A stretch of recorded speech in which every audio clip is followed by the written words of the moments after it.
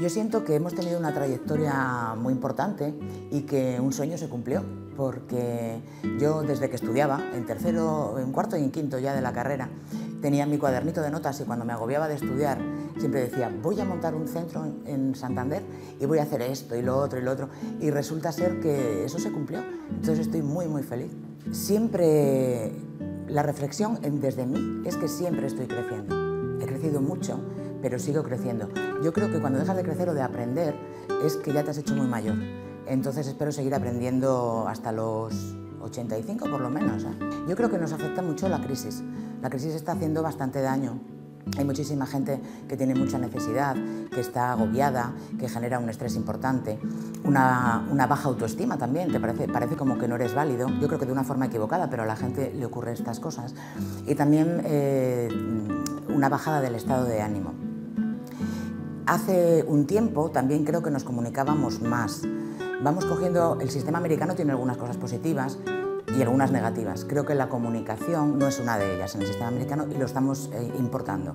Entonces nos sentimos solos, aunque estemos con mucha gente, sobre todo porque no hay relaciones realmente personales. Podemos ir a tomar una cerveza o tal, pero no hay esa confianza de contarle a la gente eh, nuestras cosas estamos muy competitivos, yo creo que por eso nos resguardamos de contar a los demás y es como la felicidad impuesta o algo así, pero no real, no verdadera. Y creo que eso nos está afectando mucho. Eso, creo que esa es la mayor diferencia entre hace 20 años y ahora. Es que estamos tan hipercomunicados que estamos con una persona enfrente tomando un café y estamos con el WhatsApp. Entonces, eh, tanta, tanta comunicación, yo creo que los extremos se tocan, ¿no? Eh, tanta comunicación hace que no te estés comunicando con la persona que tienes delante. Yo siempre he defendido las relaciones personales. A mí las personas me encantan. Eh, yo me llevo mal con las máquinas y utilizo el WhatsApp, lógicamente, y me gusta mucho, pero creo que hay que hacerlo con cabeza y nunca en contra de, ver a las personas realmente. El WhatsApp no es para contarse a lo mejor las cosas, es para quedar para contar las cosas. Yo la ansiedad eh, tiene muy mala fama, la pobre, y yo la defiendo. La ansiedad genera cortisol, adrenalina. La adrenalina es la hormona de la vida, es la que te hace estar vital pueden generar estrés también cosas positivas. Que viene tu novio que hace mucho que no le ves, quedar bien con tu suegra, todas esas cosas te generan ansiedad también. Entonces hay una cosa que se llama el eutrés y otro es el distrés. El eutrés es la ansiedad positiva.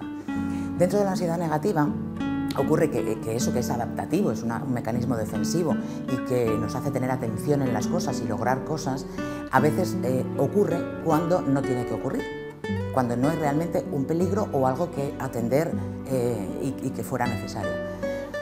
Y también es cierto que hay otras cosas que generan estrés, ¿eh? los cambios, las cosas nuevas, estados, eh, como decíamos en la crisis, de malestar sostenido y sobre todo defenderla un poquito, ¿eh? que no siempre es negativa, no siempre es mala. Parece que queremos estar siempre felices, siempre calmados y eso no puede ser así.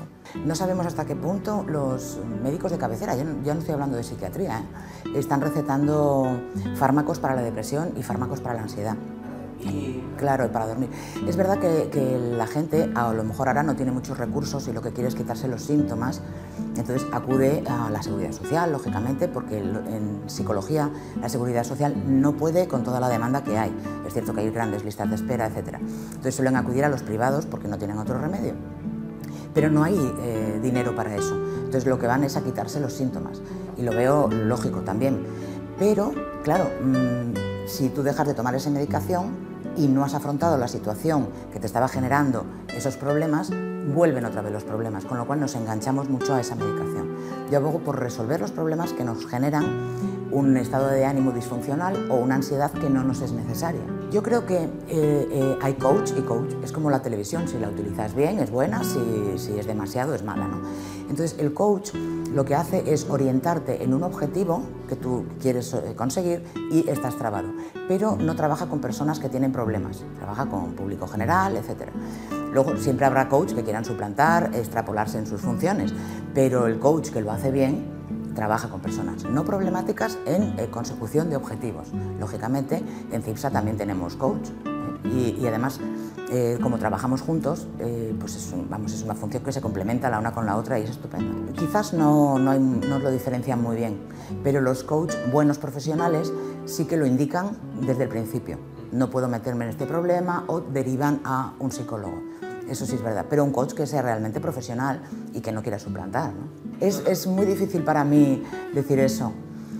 Eh, no tengo ni idea de dónde nos llevará, pero creo que a ser felices de verdad, fíjate, ¿sabes? A entender que las personas tenemos problemas, a entender que las personas no somos perfectas, a, querernos con, con, nuestros defectos. Siempre queremos a personas defectuosas, todos los tenemos.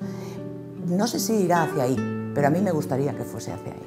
Eh, vamos a hacer dentro de muy poquitos meses, creo que es en abril, aún estamos en negociaciones, un um, maratón de psicología.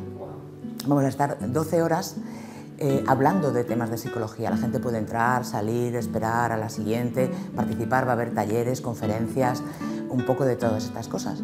En noviembre haremos una gala benéfica eh, que se llama 321 Cantabria se cuida.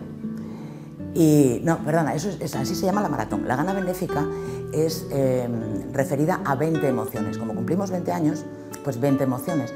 Queremos que distintos artistas de Cantabria aporten alguna de sus obras referidas a una emoción en concreta. Entonces, eh, bueno, ciertas personas que vayan allí pueden eh, hacerse con ellas de forma gratuita. Es muy bonito. ¿Y mm, qué más? Bueno, vamos a hacer masterclass hemos decidido que en lugar de cursos que son muy largos y costosos, vamos a hacer clases de dos horas de duración. Sí, para que la gente, eh, podamos llegar a la gente y que la gente saque lo que se puede sacar de trabajar las cosas en grupo. En individual ya lo hacemos eh, normalmente. Entonces esas masterclass van a, van a tener muchísimos temas. El tema de la autoestima, habilidades sociales, eh, gimnasia hipopresiva para tener finito, ¿sabes? Todo el suelo pélvico y tal. Eh, meditación también, un montón de temas. Si quieren información, bueno, en CIPSA se la podemos dar mucho más concreta, con fechas y todo. Y luego los encuentros, como siempre, contigo aquí, en Fraile y Blanco, que es una cosa que a mí me encanta. Siempre estoy con ilusión de que llegue ese último miércoles de cada mes para poder verte y para poder ver a profesionales importantes. Quiérete, confía en ti y compártete.